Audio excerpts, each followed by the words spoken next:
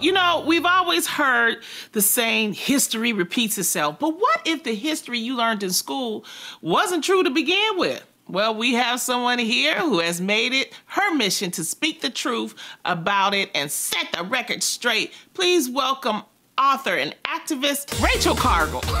Oh, Rachel! Hi, Rachel. Welcome to the show. Before we start, we know you have an online community called The Great Unlearn. Tell us about it and what made you want to start this. Yeah, this concept of unlearning, it's a call to seek truth and justice and to reverse the whitewashing of history um, that we all have come to understand. And I'm hoping that it allows us to transcend the boxes and borders that we've been ushered into for so long. And so I started this community, The Great Unlearn, as a project earlier this year in resistance to the longstanding norm of knowledge and learning, disregarding the perspectives and truths of marginalized communities. And that needed to change a long time ago. And coincidentally, uh, these unprecedented times of COVID 19 offered us a unique opportunity to prepare ourselves for a new kind of normal. And I think through things like knowledge and empathy and action, um, we can do this showing up with brazenness and intentionality and by offering and accepting accountability. Wow, that is so great. So, why don't we go through a couple of things that we were actually taught in school and you let us know if this is true or false? Here's one Women received the right to vote 100 years ago in 1920. Is that true or false?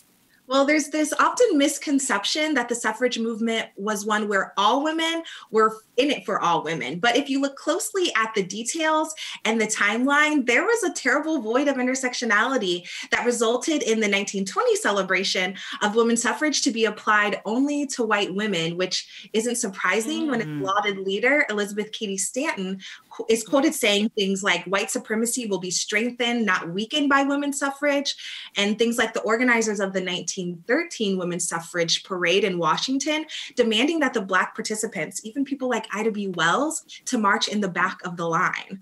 Um, and outside mm. of the suffragette movement, there's other things like very real barriers like political poll taxes and literacy tests and other things that played into the ability for people of all types to vote. And the actual timeline looks kind of like this. In 1920, the 19th Amendment passed um, for women to get the right to vote, but like we saw, it was mostly white women.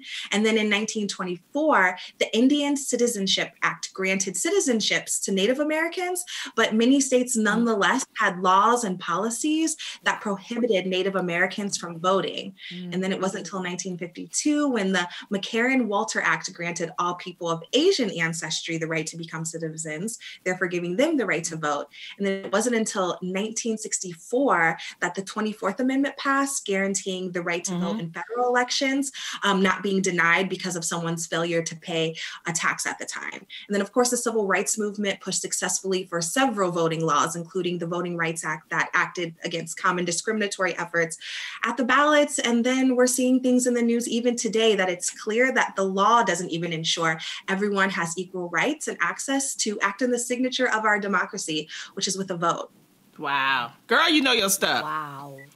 Wow. So that one fact of 1920 being an open door for everybody to vote is not true. Like that's yeah. that's insane to right. actually look at the technical timeline that opened up these tiny portals for these groups of people to finally vote.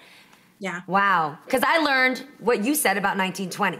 That's what I learned. Yeah, yeah. Me too. That was in my history books. Okay, yeah. we got one more thing for you, okay? When you're walking around a museum, the items on display have been gifted to the museum. Is that true or false?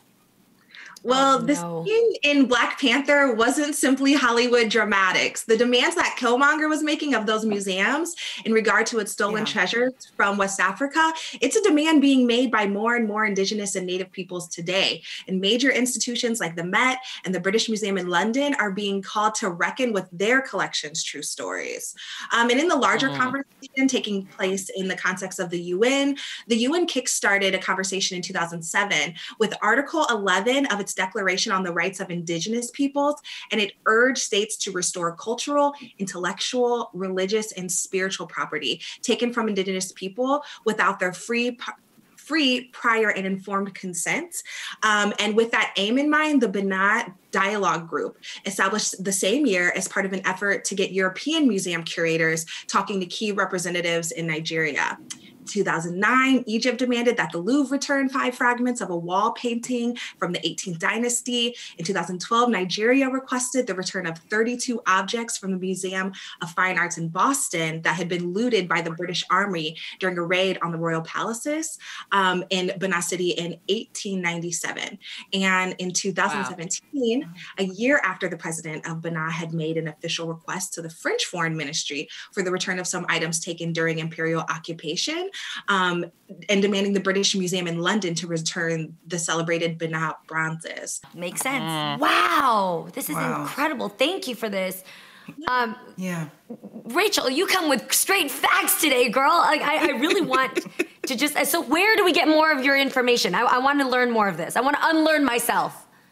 Yeah, right. um, I do a lot of I do a lot of teaching on my Instagram at rachel.cargle, and there's information on my Great Unlearn community there as well.